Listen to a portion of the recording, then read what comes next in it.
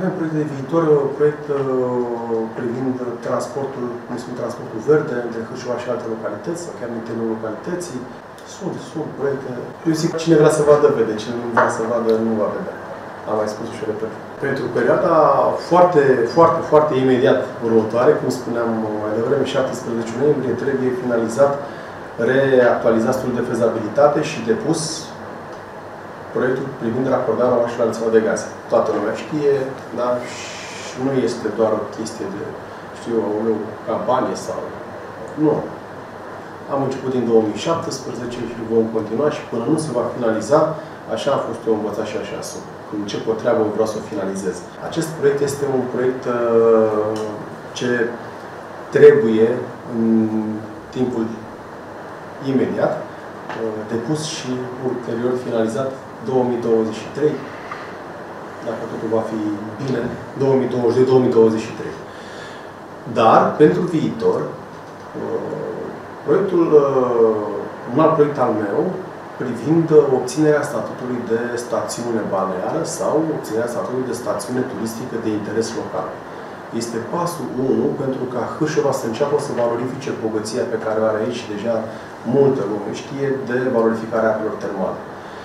Până nu obținem acest statut de stațiune balneară, nu se va întâmpla nimic cu apele termale, nu vor rămâne decât la o valorificare acestora la modul rustic, cum se întâmplă acum, iar restul, cei care vin și spun că o să dărâm eu munții, nu fac decât să vândă iluzii și să mintă cetățenii. Dar vreau să vă spun că doi ani și jumătate aproape mi-a luat mie până am obținut toate avizele și până când am reușit să scot din circuitul agricol și să introduc în intravilan 30.000 de metri pătrați, 3 hectare.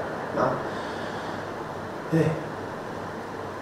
Sunt uh, proiecte de viitor, proiecte pe care Hârșova trebuie să le înceapă, trebuie să le continue și trebuie să le finalizeze pentru a se putea dezvolta. Și o vom face.